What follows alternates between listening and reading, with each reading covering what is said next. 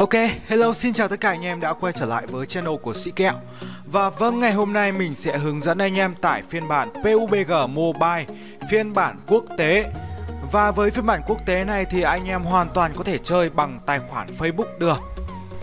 Để tải game, đầu tiên chúng ta cần mở trình duyệt ra. Sau đó tìm kiếm PUBG Mobile APK Anh em nhấp vào cái liên kết đầu tiên cho mình PUBG Mobile for Android này.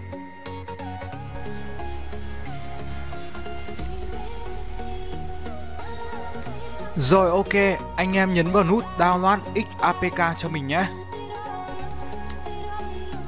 Sau đó anh em nhấn vào Click Here để bắt đầu tải xuống game PUBG Mobile.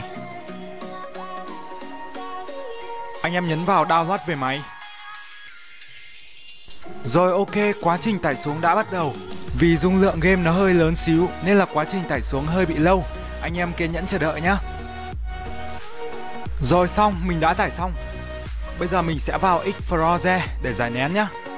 Đây anh em đổi tên cái đuôi này từ đuôi XAPK thành đuôi zip cho mình. Ok, sau đó anh em nhấp vào.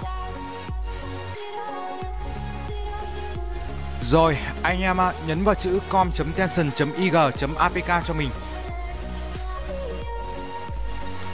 Anh em nhấn vào nút cài đặt để tiến hành cài đặt PUBG Mobile. Sau khi đã cài đặt thành công, anh em tiếp tục nhấn vào mục Android cho mình.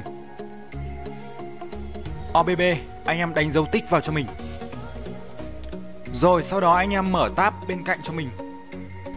Anh em tìm đến bộ nhớ trong dùng chung vào mục Android.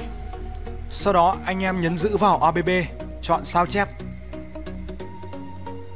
Ok, như vậy là quá trình sao chép dữ liệu của game PUBG Mobile đã bắt đầu.